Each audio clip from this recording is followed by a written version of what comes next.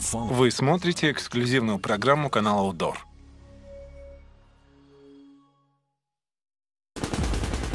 Два искусных стрелка. Получи. Восемь экстремальных испытаний.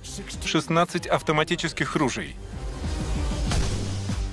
Взгляд на историю использования автоматов. Все это, чтобы определить, какой из ружей выдержит сложнейшее испытание. Это программа «Быстрый огонь». «Быстрый огонь» от Midway USA. Маузер С-96 против Беретта 93R. Мы решили сделать этот выпуск «Быстрого огня» несколько необычным. Как и другие, я смотрю телевизор и видел много ребят, которые каждый раз попадают по мишеням, стреляя из автоматического пистолета. Такого не бывает. Мы покажем, насколько трудно стрелять из такого оружия даже после тренировки. Эта модель берета практически не отличается от 92-й. Все, кто вырос в 80-е и увлекался фильмами про полицейских, как я, знают, что у всех героев была 92-я берета. Это автоматический пистолет берета 93. Рядом с ней маузер Брумхендл. Это оружие можно увидеть в любом фильме про Первую и Вторую мировые войны. Им были вооружены как хорошие парни, так и злодеи. Мечта каждого пострелять из этих пистолетов. От такого предложения просто невозможно отказаться. Когда такая возможность появляется, каждый хочет ею воспользоваться. Смотрите, какие пистолеты. Автоматические пистолеты. Красивые, не так ли? Да, красивые. Как обычные пистолеты, только дороже. Пули из них вылетают со скоростью света. Да, стреляют они быстро. Автоматические пистолеты — моя страсть. Это не очень практичное оружие, но стреляет очень быстро. Стрелять из него трудно, но действительно весело. Веселье — это важный фактор в стрельбе. Уверен, вам понравится, безусловно. Эти пистолеты вам знакомы? Нет. Этот пистолет напоминает 92-ю берету, а вот стрелять из Брумхендл мне не доводилось. Начнем с берета. Хорошо.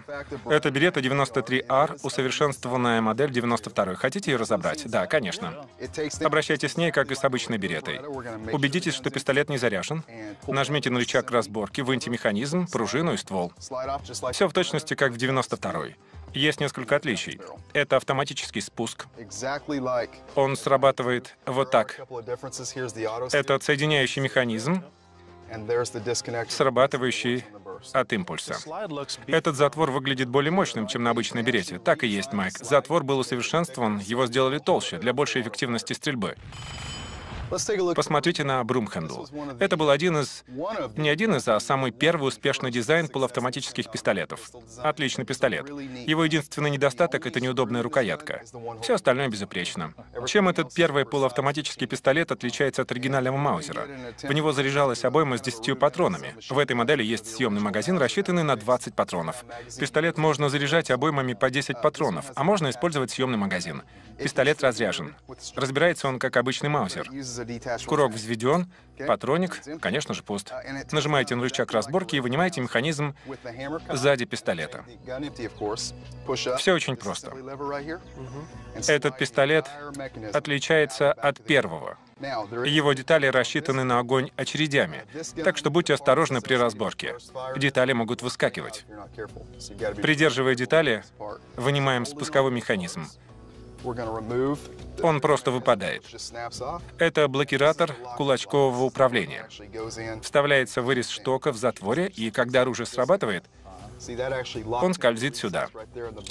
При отдаче он скользит сюда и запускает откат затвора. Я не увидел ничего нового, так как много раз разбирал берету. Этот пистолет особенный тем, что из него можно стрелять очередями. Брумхендл меня весьма заинтриговал. Как справедливо заметил Иен, его механизм можно сравнить с механизмом швейцарских часов. В отборочном соревновании победитель, которого выберет автоматический пистолет, Иэн с Майком будут стрелять из Desert Eagle 50 Cal. Их цель — попасть в шесть канистр с водой, расположенных в ряд. Победит тот, кто сделает это быстрее. Я готов. Хорошо, Майк, внимание.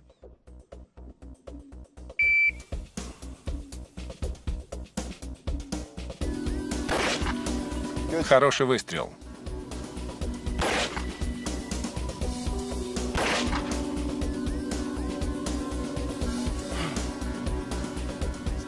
Зверь. Соберись, Майкл.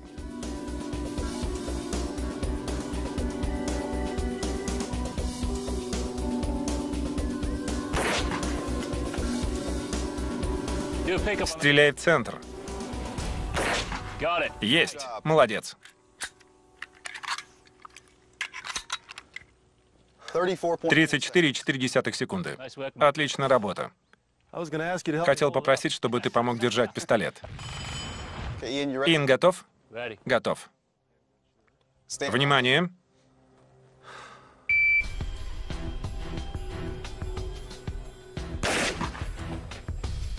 Угостите меня малиганом?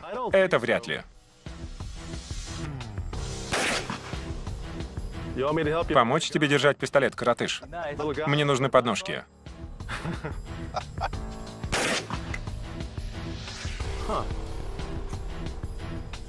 Как думаете, попаду? А теперь в среднюю.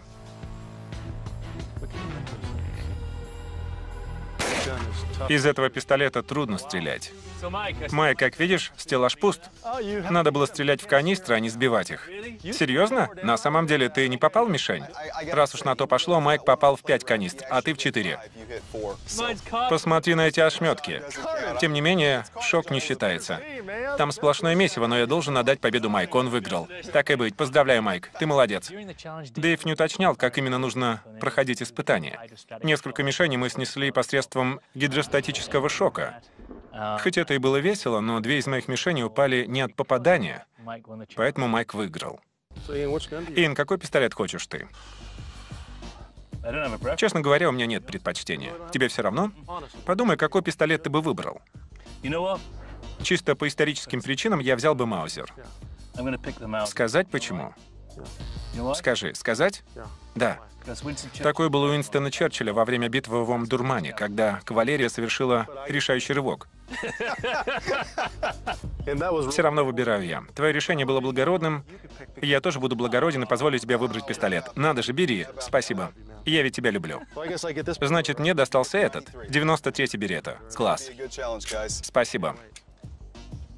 Соревнование будет интересным. Быстрый огонь.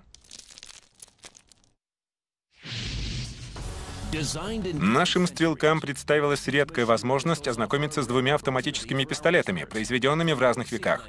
Майк Секлендер будет стрелять из берета 93R, а Иэн Харрисон из Маузера C96. Отправляемся на тренировку. Ты можешь начинать. Из него нельзя стрелять так, как из обычного пистолета.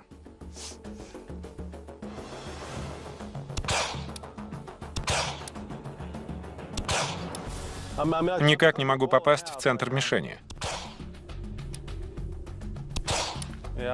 Переключи в автоматический режим. Попробуем стрельбу очередями. Осталась центральная мишень. Третий выстрел был на 60 сантиметров выше. Второй чуть выше. А первый прямо в цель. Значит, шансы попасть в цель один к трем. Да. Всегда считал, что автоматические пистолеты — это нелепость. Ими трудно управлять. Значит, мой первый выстрел был метким. Да, в первый раз ты попал в цель. Перейдем к мишени звезде, посмотрим, как ты справишься. Сейчас испытаем звезду. Черт возьми.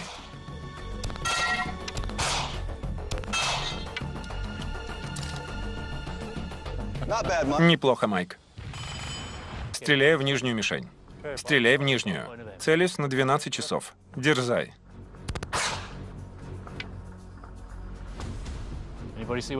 Кто-то видел, куда я попал? Выше цели. Так я и думал. Пистолет подскакивает от отдачи. Выше и правее. Ты почти попал.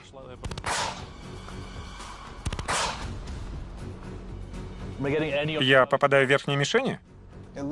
Скорее, правее мишени, параллельно. Это первое попадание. Буду целиться левее. Ни разу не попал по мишени. В автоматическом режиме.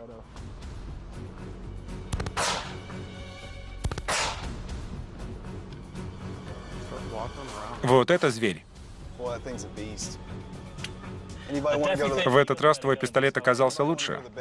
Как насчет сделать ставки? Когда я сделал первый выстрел из Маузера Брумхендл, я сразу заметил особенность прицелов. Они совершенно не похожи на современные.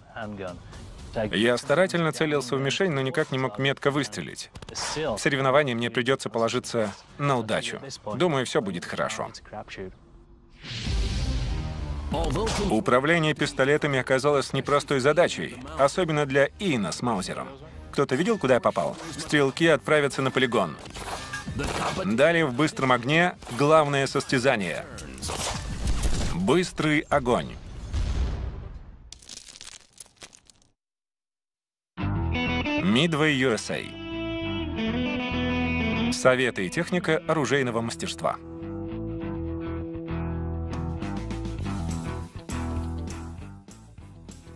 Переделывание старинной винтовки с патронами кольцевого воспламенения под патроны центрального воспламенения — очень интересное занятие. Я Ларри Поттерфилд из Midway USA. Уверен, вам понравится. Это старая спортивная винтовка Remington-1 с окрашенным затвором и оригинальным синим цветом ствола. Целик не оригинальный, как и насечка на цевье. Канал ствола в идеальном состоянии, но он приспособлен для стрельбы патронами кольцевого воспламенения 32 калибра.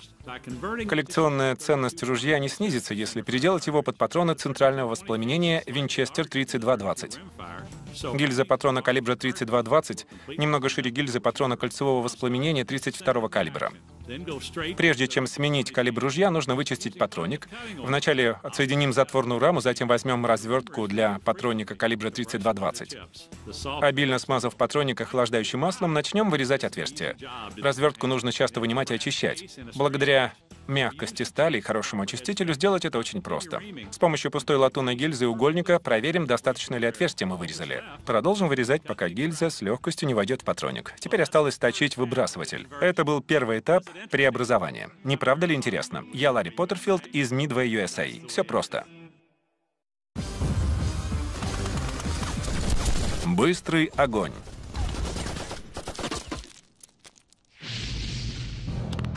Тренировка пройдена, теперь Иену Харрисону и Майку Секлендеру предстоит пройти испытание на полигоне. Стрелки все еще не уверены в меткости стрельбы. С самого начала стало очевидным, что при стрельбе из этих пистолетов первый выстрел попадет прямо в цель.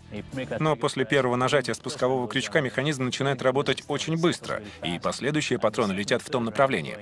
Это хороший способ израсходовать патроны, почувствовать ответственность за происходящее. Что до меткости стрельбы, шансы попасть в мишень, наверное, один из трех. Это будет соревнование профессионалов. Да.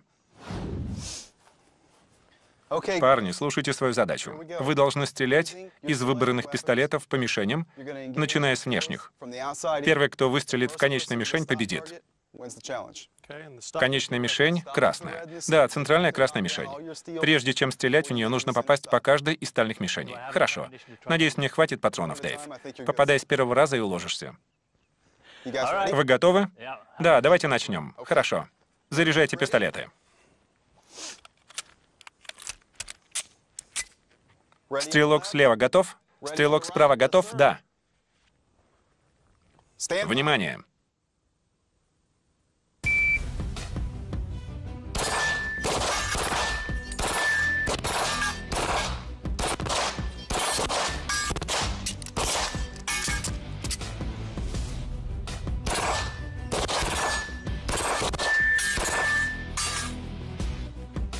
Я прикрою. Перезарядка.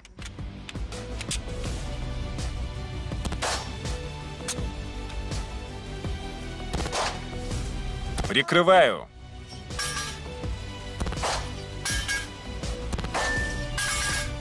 Как это вышло? Сам не знаю. Перезарядка. Закончились патроны. Прикрываю. Закончились патроны, извини, не вышло.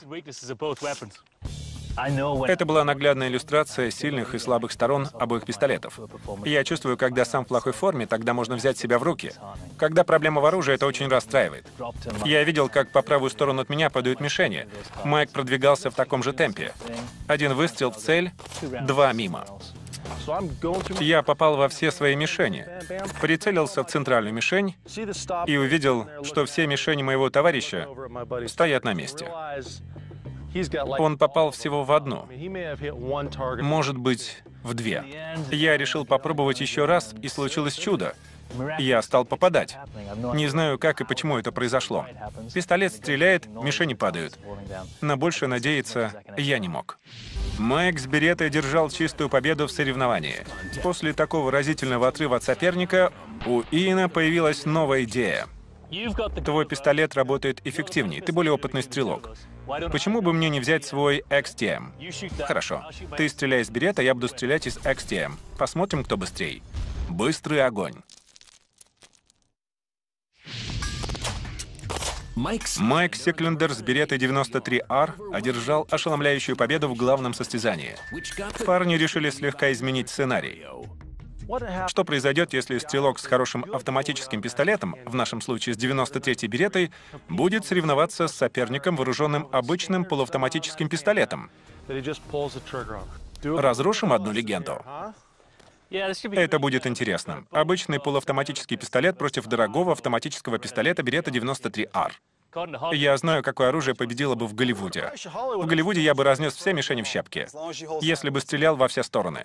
Парни, вы уже прошли испытание, но мне интересно, какой будет результат повторного состязания. Стрелки готовы? Да. Правила те же. Стрельба на скорость. Заряжайте пистолет и приготовьтесь. Левый стрелок готов? Еще одно, пока вы не начали. У Майка нет кобуры. Ясно. Левый стрелок готов? Правый стрелок готов? Да. Внимание!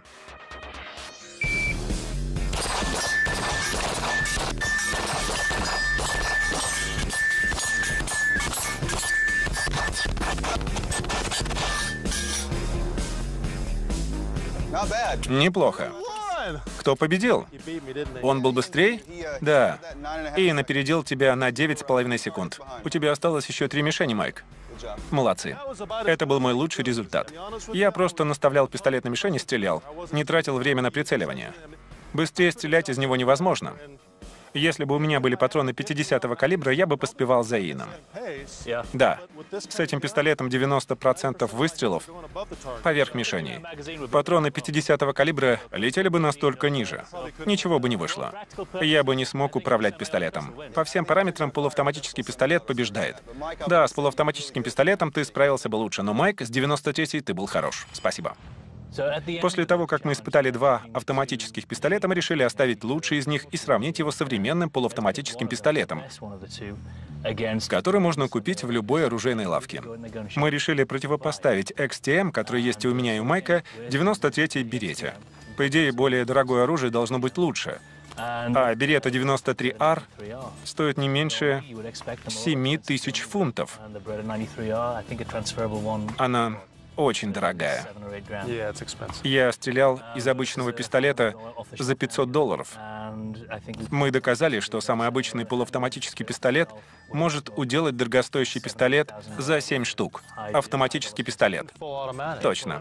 Голливудские легенды гласят, что можно метко стрелять из автоматического пистолета, но это не так. Это с винтовкой трудно сделать, не говоря уже о пистолете. Именно. Если прикрепить к этому пистолету приклад и стрелять так в автоматическом режиме, может быть, из него вышел бы какой-то толк. Приклад можно было бы сделать съемным и снимать его при стрельбе в полуавтоматическом режиме. По-моему, неплохая идея. Что касается наших двух пистолетов, я выбираю 93-ю Берету. Я с тобой согласен. Это более современное оружие. Его дизайн лучше продуман, а также использованы современные техники производства. Впрочем, не могу сказать, что выбрал бы какой-то из этих двух пистолетов для стрельбы в реальных условиях. Точнее, я точно не выбрал бы ни один. Я тоже. Нет, ни за что. Это бесполезная трата боеприпасов. Да. Хотя стрелки выбрали Берету 93R, по эффективности она уступает полуавтоматическому пистолету. В следующем выпуске мы оценим все ружья, которые испытывали в этом сезоне. Все чисто.